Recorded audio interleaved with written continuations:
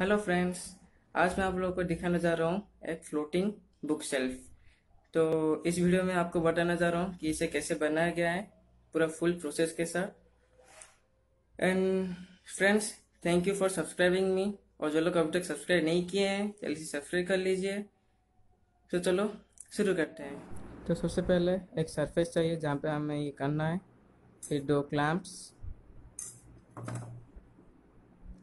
एक marking pen drilling machine screwdriver और कुछ नट्स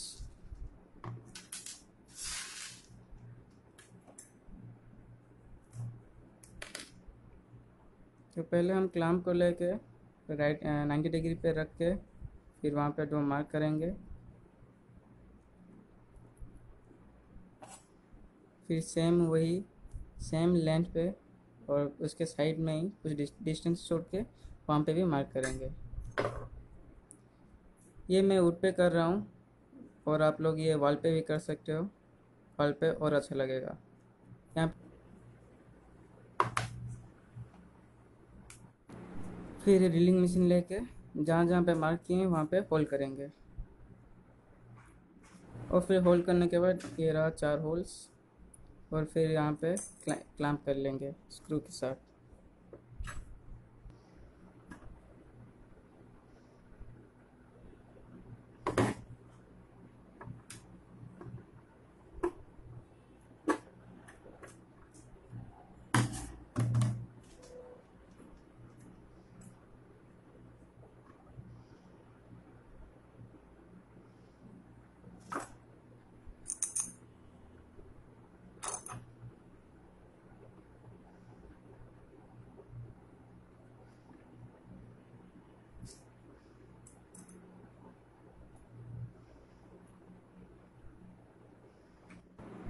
फिर इसे पूरा टाइट से फिक्स करने के बाद ये पूरा टाइट हो जाएगा।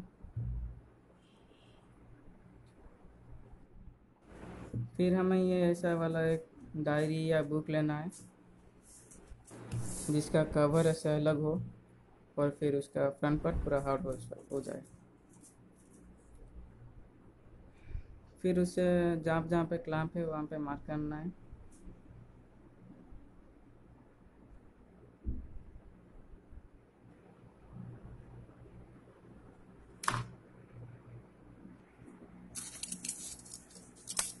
फिर हम जहाँ पे मार्क किए हैं, वहाँ पूरा कट कर लेना है।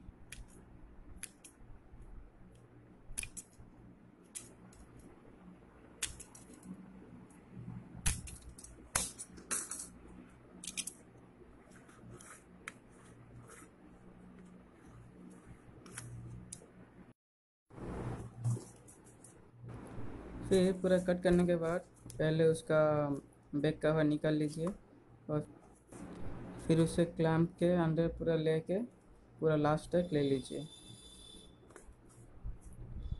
और फिर ये हार्ड कवर को प्रॉपर ही रख लीजिए और ऐसे पूरा बंद कर लीजिए। And now it's ready to use तो कैसा लग रहा है दोस्तों? I hope you like this और ये नीचे तरफ़ भी कुछ भी नहीं दिखाई दे रहा है वो क्लैम्प तो अगर आप ये वॉल पे रखेंगे तो ऐसा लगेगा ये फ्लोट ही कर रहा है पूरा। और हम यहाँ पे कुछ नोटबुक रख लेंगे वहाँ पर। और ऐसे तीन चार बुक अगर आप ऊपर रख लेंगे तो वो क्लैंप बिल्कुल भी दिखाई नहीं देगा।